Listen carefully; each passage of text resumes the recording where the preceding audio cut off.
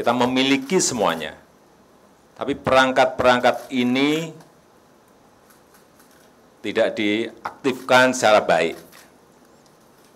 Kalau infrastruktur ini diaktifkan secara baik, saya yakin